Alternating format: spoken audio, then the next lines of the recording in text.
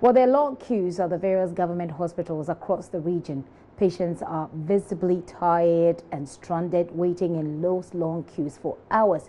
That situation is as a result of a nationwide strike action by physician assistants. National President of the Association, Dr. Imoro Bandana, assures of a complete withdrawal of all other services if their demands are not met by the end of this week. Let's run some checks across the country. We're starting off with Nanaya Wasenso, who has been to the Tafo General Hospital. Hello, Nanaya. Hello, Gifty. Nanaya, what has the situation been like uh, at the Tafo General Hospital where you visited? Yeah, Gifty, um, there are long queues at the various government hospitals um, across the region. Um, this is because the strike action by the physician assistants has been intensified. Um, earlier the strike action only affected the OPD centers but a new directive from their leadership have added emergency services to their industrial strike. So, um, according to the Physician Assistant National President, Dr. Imoro Bandana, um, the, the association will withdraw all their services if government fails to meet um, their demands. So, um, we have been monitoring the situation at some hospitals uh, within the Kumasi metropolis, especially the Tafo General Hospital, mm. and the situation is almost the same. There's a long queue over there some patients have waited at the OPD for more than five hours as at the time the news team go to the Tafo hospital. Uh, so, um, Gifty, uh, this is uh, what has been actually transpired but, but speaking at, of, the hospital. Speaking of the effects and the impacts that this is having, we, beyond waiting in long queues, are people suffering excessively because uh, they couldn't access health care? Has somebody, for example, died? Because usually when these things happen, it means that the health care you're supposed to get, if you come in with an emergency, uh, you're going to have to wait in the queue anyway. So beyond just standing in the queue, are people suffering physical, you know, damages to themselves that they've been sharing with you? Um, visibly, you could, um, uh, uh, one could just see that the, the patients or the, so to say, are tired, they are frustrated. Some are even sleeping in the queue, in the long queue. Um, so um, they, they, are stranded, and it's also taking a toll on, on, on their health. Mm. Uh, and you know, most patients have come there to access health delivery. So you could see if they are in turn being frustrated, and it's quite an issue of concern. Right. So um, uh, we, we, uh, we, spoke to the uh, superintendent uh, doctor at the General Hospital about uh, uh, issues of um, emergency services, and then he said that when emergency services um, come up, they will they will shift uh, the doctors at the OPD to attend to the emergency services. They have no um, uh, alternative than to shift All those right. doctors uh, at the consulting room to uh, attend to the emergency services. And then also, uh, we, we, we, actually asked him that um, when this thing gets to, to, to, next week and, and also the subsequent week, what are they going to do? And then the doctor said that um, they will, uh, if, if it gets to the West, they will invite those doctors. Some of the doctors are on leave so they invite the doctors on leave and also um, bring on, on board more hands so that they can mitigate the situation. Okay. Now, finally, is this the only hospital uh, that's going through this? You indicated that it is across the across the region. What do we know, for example, about the biggest uh, hospital, the Anokye Teaching Hospital? Uh, the line is very faint. Can you come again? Do we know the situation at the Anokye Teaching Hospital? Um, this we, we started our monitoring from um, the Tafo Hospital well. through to well. uh, through to some some uh, health Very centers, well. but we don't have uh, uh, uh what is happening at the oh, Hospital. Very well, very well. We'll come to you as and when you have that information. Well, let's head to the Koforidua Hospital. There, our correspondent is on the line now. Um, how many patients? Uh, well, let's go to the northern region, rather. Martina Bugri, do I have you there?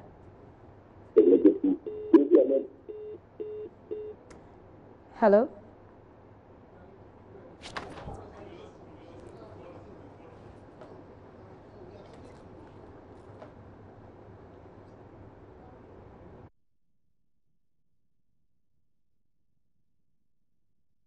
Strike so far today. They actually started last week. Right now, we're being told that there are long queues in hospitals across the country. We've been getting some updates on the Kumasi situation, specifically the Tafo Hospital, where we've heard that some patients have been in queue for the past five hours. Let's head to the northern region. Martina Bugri joins me. Martina, what's happening there? Um, my test with the Savelugu Hospital. Currently, the Savelugu Hospital has um, four um, two medical officers and two nurses uh, prescribers. They are the only two people at post now. We have six uh, physicians assistants who normally would help these people. And once they have withdrawn their service, there's so much pressure on um, those that we have there. I spoke with the secretary of the Physicians Association in the region here. He says that the region will feel it more because uh, most of those in the rural areas are being manned by the physician assistants. And with uh, uh, Yapei here, in the morning, the people people came in, patients came in, the nurses took their vital stats, but there was nobody to attend to them because the the uh, physician assistant there is, is on strike, and so a lot of people sat for a while. They didn't have anyone to attend to them. Some started leaving. Others were hoping that something different would happen and then they would be attended, but up to now, nothing has happened. So, so and Martina, so, what we understand from your situation is that the northern region, for example, has a very peculiar situation where most of the hospitals, you have the physician assistants actually yes, working, um, actually working as centers. doctors. H hello, Martina? Yes, I can hear you. So, so what you're saying is that the, are these hospitals hospitals without health of, uh, professionals at all? We have nurses, but they are there to take the vital stats and then refer you to the physician assistant who's supposed to write uh, mm. the prescription for you. And so, for like I mentioned, the Yapei uh, Health Center like this, the nurses did their part, but there was no one to do the prescription. And so, okay. nobody to consult. So, the people were just sitting down some sat for a while and had to leave. Do we know if people came with diseases that, or with health conditions that needed immediate attention? Attention, and did they? They would have to look elsewhere, especially right. with um, centers like Dupe, where they have a doctor and Tamale Teaching Hospital. And so, but if you want to depend on any of these health centers where the uh, physician assistants are manning, you will definitely not get treatment.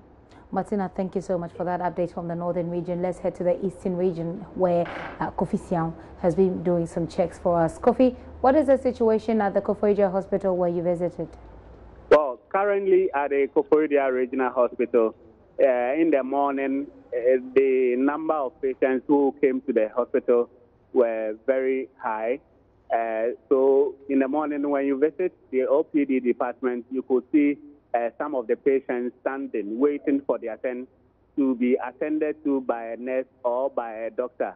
Usually, what happens at the OPD department is that they have a lot of chairs there, so uh, it doesn't happen before that a patient will come and will stand to wait for the next person to finish before he sees uh, the doctor available. So, as to the uh, the director of the facility, who is the deputy director, Dr. Cardinal Newton, and he said he admitted that uh, the strike embarked on uh, the physician assistants uh, is affecting uh, their work greatly because usually the number of patients, some of the patients would be attended by these physician assistants. So now that they are on strike, it means that the doctors and the nurses would have to uh, bear the burden, uh, uh, bear the burden. So uh, it's really affecting mm. Uh, their work at the Koforidua Regional Hospital. But uh, this afternoon, the situation has changed a bit. the number of cases that were at the hospital has reduced, and I can tell you that it's because the hospital authorities or the doctors have been able to attend to some of these cases and they've left to their various homes. Okay. Thank you very much. Um, Kofi Siang there bringing us those updates uh, from uh, the eastern region, Koforidua to be specific. Let's head to the Volta region now. Ivy Setordji is standing by for us. Ivy, is the situation the same? Uh, yes, but better, better than yesterday, though. Uh, people are coming one after the other to uh, register, and uh, the officials are also taking the opportunity to educate uh, those coming in to register to actually educate them on what to do uh, uh, on, on, on the electoral process. So that's good, but it's better than what happened yesterday. The Ivy, we're actually talking about uh, the uh, strike of the physician assistant. But let's get, get back here to Accra, where Roland Walker has been running some checks at the Mamobi General Hospital. Hospital. Okay, so now you're entering consulting room three. Ah, luckily, I have a medical doctor here. Now, let me just uh, get an interaction, so to speak. And, and uh, she's busy just working, looking at. And, and currently, um, what's your name, ma'am? Uh, your full name? Um, my name is Dr. Salamatu Atanantokma. And um, what are you doing now for the patient? Oh, we are doing our regular consultations. That's, I mean, it's Monday morning. The patients are coming in, so we are seeing the patients. We came here basically because um, the, the, the, we are told that there's a strike action by the physician assistant, and we know that they complement your efforts. Of course, they are not medical doctors, but then they, they are very critical to your work. Um, how many do you have at the hospital? Um, in this hospital, we have five main physician assistants, but in the meantime, two of them are on leave. So there are three that are supposed to be at post. So the three physician assistants are those on strike at the moment. Usually, what is their importance at a, a public hospital setting? Or any hospital for that matter? Um, depending on the hospital, the role of a physician assistant may vary. In our hospital, mainly our physician assistants help us at the outpatient department. They help us with running our special clinics too sometimes. So mainly in this hospital, their role is around the outpatient department. W would you classify their, their role as important and why? Oh yes, um, their role is it's, it is important. Um, everybody in the healthcare delivery system has a role to play, and their role is um, is important, as I say, um, especially in a setting that you don't have enough doctors all the time. They actually we put them on our roster. They run emergency duties as well and then, like I said, our special clinics and our OPD. So they are important. They complement our work from day to day. Now, uh, them on, on strike means that it's having a toll a bit on the pressure because I know Mamobi is located in a, a dense area in Accra. Yes, it is having a toll on the patient and how we see patients and the waiting time of the patients and everything because um, our OPDs, we have to restructure how we run the OPD.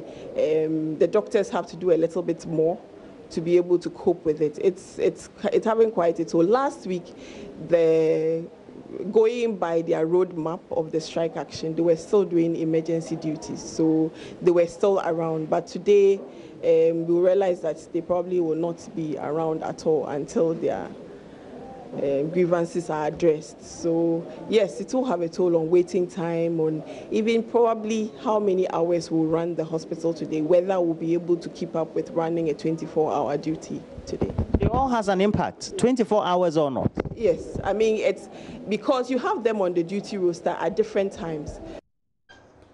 Roland Walker, who went to the Mamobi Hospital now. Well, joining me on the phone is President of the Ghana Physician Assistant Alhaji Chief Imoro Bandana. Sir, thank you so much for your time this afternoon. Have you had any responses to your uh, the, the grievances you've raised so far, for which reason you are on strike? Thank you so much. We have not had any um, discussions with the, the Ministry of Health and for that matter, Ghana Health Service as well. We have not had any discussions with them as of now. I am on my way to Accra, where we will be meeting the minister tomorrow at 2 o'clock. Okay. So until tomorrow, that I will know what is happening. Okay. As we speak now, the minister did the minister invite you to this meeting? Yes, the the ministers. Uh, it's actually the chief director who extended an invitation to us to meet them at 2 o'clock tomorrow. So we'll be meeting them at 2 o'clock. And what will you be telling the minister? What, do, what are you looking to present before the minister? In fact, we have presented a whole lot of uh, grievances to him. One being disparity between uh, uh, of salaries between the uh, two groups, which we think that equal pay, equal equal work, equal pay. Job description is is is obsolete It's over 60 years our job description has not been renewed, which is not too good for the service and for the, the good people of Ghana. Conditions of service, nothing to write home about. We also have uh, after school. Initially, it was Kintampo uh, College of Health alone, was which was training physician assistants. Mm. But now we have a lot of universities. Kwame Nkrumah University, the uh, Ho University, uh, Christian Service University, uh, Garden City University, Central University, Presbyterian University, and a whole lot. And they are all training. Meanwhile, is, they are now turning out BSc holders who, are, who have gone in for BSc for four years, internship for one year, that is five years, but it's still the same conditions of service, uh, the same um, job description, which we think that it has to be changed. Okay. Then we come to um, uh, progression. After school, you are you are continuously working, no progression.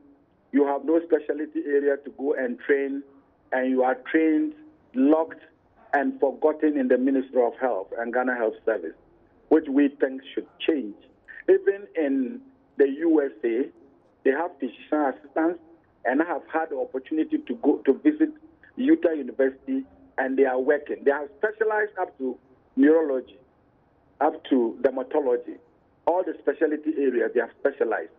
Why can't Ghana be like that? We can't get there now, but we should start something. If you come to the East African countries, most of them have trained their physician assistants. They can do emergency surgeries like cesarean sections and co. So the maternal, maternal, maternal mortality is reduced. Mm. So many uh, minor, minor operations can be done by the physician assistant. in Ghana, okay. we are denied this opportunity. So you're basically we saying think, that we think that we think that this specialization area should be created. Okay. If you come to the national insurance, which was meant for the very poor people in Ghana, there is now discrimination in the medical uh, in the uh, in the, the NHI list. If you are in a health center where the rural people are poor and cannot afford, they tell you certain drugs like antihypertensive drugs, you have no right to prescribe them. But when you go to the district hospital, it is the same physician assistant who is prescribing them. We are being regulated by the Medical and Dental Council, and we go in for continuous uh, educational programs, and we think we have been equipped with enough knowledge, and nobody should uh, underrate the physician assistant in Ghana. Okay, a number of issues uh, you've, you've, you've presented here. Uh, you're talking about salary discrepancies. You want the minister to address obsolete job description, uh, conditions of service, and you want a clear path of progression for your members, as well as uh, as well as uh, opportunities for specializations.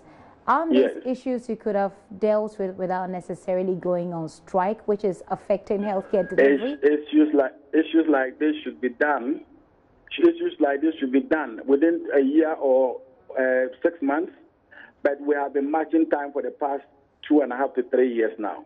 Okay. The only thing they did for us was to give us a top up at uh, the Kintampo University, and you'll be, it will be sad to hear that that school has been operating over 50 years and it has no it has no accreditation whatsoever. Okay, hold on for me, Mr. Bandana. Let me have uh, speak to the public relations officer of the Ministry of Health, uh, Robert Cudjoe. Mr. Cudjoe, thank you uh, very much for your time this afternoon here on this show. Thank you very much. Mr. Bandana is coming to see the minister, we understand, tomorrow at 2 o'clock. Is this a meeting you are aware of? Yes, please, I'm aware. He's laid down a number of uh, concerns that they have, for which reason they are on strike, which is already impacting healthcare delivery. Uh, they yes. want issues of salary discrepancies addressed. They want obsolete descript job description. They say that they are they, they are able to do more than what they're being given to do at the moment. They want specialization opportunities, for example. They want uh, better conditions of service. They want a clear path of progression so that you don't just stay mm -hmm. where you are as a physician assistant uh, from the day you completed school till I'm sure where Mr. Imoro is now, which must be well advanced stage. How mm -hmm. is the ministry going to address all of these things tomorrow? Thank you very much, my sister. I think uh, we are all very much aware of the uh, action by the Physician Assistant Association of Ghana, uh, which uh, started last week. Fact, we heard the news regarding the intended strike action, uh, they gave the ministry an ultimatum of three weeks, uh, which was to start somewhere in the 10th of uh, uh, September. Should their concerns are not addressed, they were going to withdraw OPD services, which they Obviously, the week. ministry didn't do anything about the concerns they raised then. Um, what, one thing is um, the communique, the 10 point communique was issued somewhere on the 17th of August. But I don't know actually where they started counting uh, from because uh, we, according to the president, uh, the letter was given to us somewhere a week after the release of that communique. So, if anything to go by, then uh, I don't think the three weeks ultimatum given uh, should have started from. When do you when do you think when do you think the three week ultimatum ends, Mr. Cudjoe? Uh, yeah, they said uh, by 24th, if uh, their concerns are not addressed, they were going to withdraw all services nationwide. Uh, we're praying and hoping that this will not happen.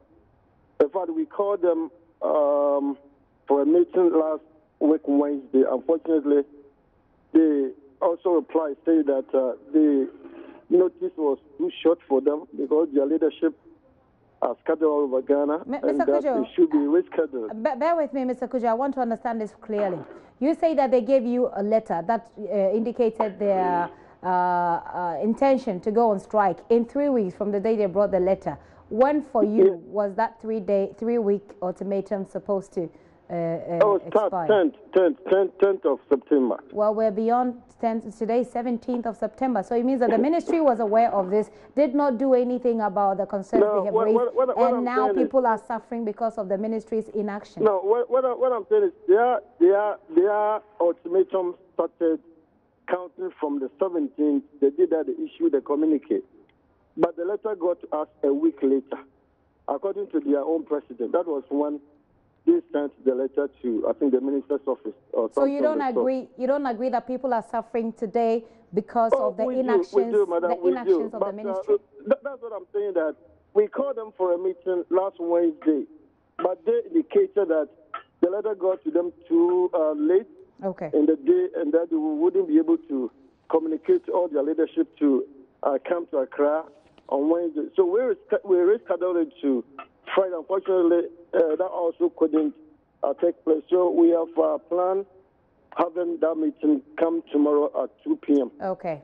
Uh, we, we, we're praying and hoping that there will be goodwill from both sides. Uh, one, all the stakeholders, including ourselves, uh, finance, uh, employment and labor relations ministry, fair wages and salaries commission, and also public service commission. In fact, these and then Ghana have to, these are the keys to stakeholders when Okay. It comes to issues of this nature. So we're praying and hoping that when we meet tomorrow, God willing, everything um, will be fine so that uh, they'll call off the strike. Uh, such issues, 10 point communicate. I believe some of the issues could probably be addressed immediately. Okay. Some of- them could be mid term, uh, uh, or some of them could be long term. Okay. So we're praying that uh, they also, because of the, the goodwill that they are bringing on board, I believe strongly. I've spoken with the president, I've spoken with the secretary, and they are ready to um, give any concessions for us to be able to move forward as a nation. Very well. So this, this uh, strike wouldn't affect our Ve- patient. ve- Very well. Let me just uh, find out. Let, let me just find. Mr. Mr. Cudjoe, hold on for me. Hold on for me, Mr. Cudjoe. Let me find out from Mr. Bandana if uh, what you're, you're saying um, settles it for them, even as they wait for that meeting tomorrow. Mr. Bandana, you had the PRO for the Ministry of uh, Health, which you're meeting tomorrow. All that I he's do. saying, all that I he's do. saying, and for me and for the people who are suffering because of this strike, all that they want to know is that tomorrow you sit down and this is over and done with, and people are not suffering because of these concerns. We, are we get, getting Madam, tomorrow? Madam, we, we sincerely, on behalf of my people, I sincerely apologize for what is happening. But if the ministry had taken us, Mr. Cudjoe knows it, if they had taken us seriously, this problem wouldn't have come. If somebody brings a letter to you on the 7th, on the 17th, make a release and brings a letter to you even on the 22nd, and tell you if you don't take care, I will do this to you. If, if it was stones they went there to throw at the minister, minister's office, don't you think they would have reported to the police to arrest them? You would have been in jail by now. Oh, yes, so we haven't done that. And we are telling them the conditions under which we are working, it is not good. He knows, Mr. Cudjoe knows very well that the training, the first institution that the ministry established around 1969, as of now, hasn't got proper registration. Most of my people have been thrown out by the American Dental Council when they finished the BSc in Kintampo, that they were going to be uh, to be inducted in the American Dental Council into the American Dental Council, which is a, a regulatory body for the physician assistance, has no very very good um, registration. So, so Mr. Bandana, tomorrow, round, tomorrow, the, the ministry goes around and and and be, be regulating universities and making people to make sure that the uh, standard uh, the regulatory bodies get proper regulation. Meanwhile, our own university has no regulation. So, is it is, is it good? What, it, what, tomorrow... and, and I look at, with our conditions of service, we think that we have been going there and going there. Sometimes when you take a letter there and you even go back, they will have to sweat before they get it. Sometimes you have to produce another copy. We think that they are. They, they misplace people, your letters. So you believe that the ministry. the ministry does not take serious, and we think that we should let them know that we are equally important in the Ghana Health Service, and for that matter, the health delivery uh, service in the, in the, in Ghana. It is not one person. It is it, it is that we all contribute to make Ghana. Right a well living, right. a well country to so, live so, in. So, so gentlemen, I need to wrap up this conversation, but Mr. Mr. Bandana, your concern is that the ministry has taken you for granted for way too long. Mr. Cudjoe, your for final word. Your, your, fin your, final word. This is certainly a disposition that my, they're bringing to the table. Word, to the, they're bringing my, to the table tomorrow, Mr. Cudjoe. What they're coming to the table with tomorrow is that look, there are times that we even bring you letters and we try to follow up on the letter, and you can't find the letters even in your files. So you're taking them for granted that is certainly not a position to solve the problem. Is the ministry going to take steps that will solve this problem tomorrow once and for all? Please make that your final word. So when the when all the stakeholders come together, I believe we're going to take their issues one after the other and uh, deal with it appropriately and see which okay. ones could be addressed immediately, those that could be handled maybe in a, a, medium term and a long term. We'll, we'll look at all that. But okay. we're going to make sure that um, we do all that is possible to make sure they call off the strike. Okay. So I believe something good will come out tomorrow. Mr. Cudjoe, whilst you are believing, I'd like you to make a, an assurance to the people who are suffering because of this strike, an, an assurance of what they should expect tomorrow. Yeah, in fact, uh, let me assure the good people of Ghana that uh, tomorrow we will do everything humanly possible to ensure that the right action is called off. I keep saying that too many people are already dying in Ghana, and we wouldn't allow this to affect uh, healthcare service delivery mm. as we move forward, and as we all know the important role these our brothers and sisters uh, provide okay. to healthcare service in Ghana. All so right. uh, let me apologize sincerely to the people of Ghana, those who have uh, inconvenienced uh, because of this strike action. And we, we, we pledge that come tomorrow, uh, everything will be fine so that uh, the strike action will be called off. We'll be here to tell the whole world if that did happen uh, tomorrow. Uh, thank you very much, Mr. Cudjoe. Mr. Bandana, your final word. I know thank you've you. already apologized to people, and I don't know yeah. if the apology would help them, but our, your final our word. final word is that we have a lot of respect for our ministry. We have a lot of respect for the Ghana Health Service, and we have a lot of respect for uh, all hospitals and health centers in Ghana. And we, we are expecting that tomorrow it won't be go and come again because anytime you go there, it is go and come. And we are also pleading that all the things that need, are needed to be done should be looked up tomorrow. Those which can be done immediately should be done, and those in the short term and the long term should be done. Okay. But we don't want this type of frustration in the in the system for peace. Okay. We, we, we think that tomorrow, and we are also pleading that the, the, the medical superintendents and, um, and uh, in charges of facilities who are intimidating our people should stop. That mm. is the message I want to give. Thank you and, very much, gentlemen. Yeah. yeah. Uh, uh, for your time here on the show. Uh, Mr. Bandana there speaks for the physician assistants who are on strike and we also spoke to the health ministry, the PRO, uh, Robert Cudjoe. They are meeting tomorrow, and hopefully that uh, strike action will be called off. We'll be here to bring you that and some more. This is the pulse with me, Gifty Andoh, up here.